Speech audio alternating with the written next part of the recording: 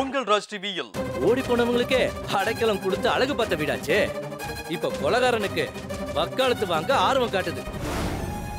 உன் வயித்துல வளர்ற குழந்தையால அதோட ராசி அதோட அதிர்ஷ்டம் அதுதான். இவ்ளோ பிரச்சனையும் ஒட்டு மொத்தமா கொண்டு வந்திருக்க.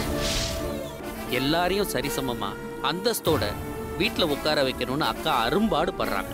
ஆனா உங்க புத்தி யோ ஏய்! ஏய்! இன்று இரவு எட்டு முப்பதுக்கு நீ வருவாய் என காண தவறாதீர்கள். உங்கள் ராஜ் டிவியில்